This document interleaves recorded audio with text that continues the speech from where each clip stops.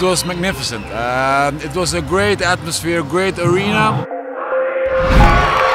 I think we showed that it's possible to play in water. The water was perfect, uh, and also it was it was not easy to play volleyball, but we, I think we did it well. I was quite afraid when I saw the court, and uh, but now it's uh, just pleasure, and uh, I can't wait to have one more invitation from your federation to do it again.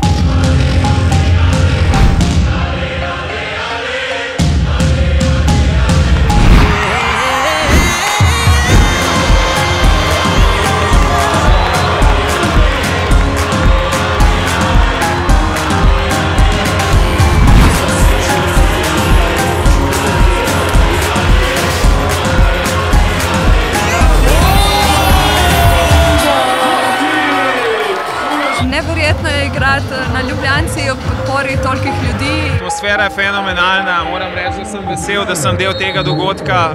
Igrišče zgleda uh, enkratno. It was really good to see that a lot of people came for us. We had a great uh, time, and I think also the spectators.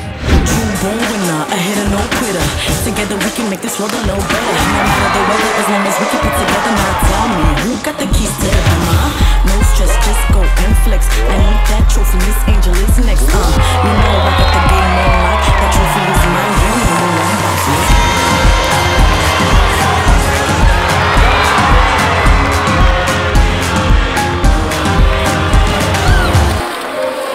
Dogodki kot je ta in še nekaj jih verjetno do prvenstva bo sledilo, eh, so namenjeni prav temu, torej, da vzbudimo to zanimanje v ljudeh in da pridejo septembra tudi v živo gledati naše Evropsko prvenstvo.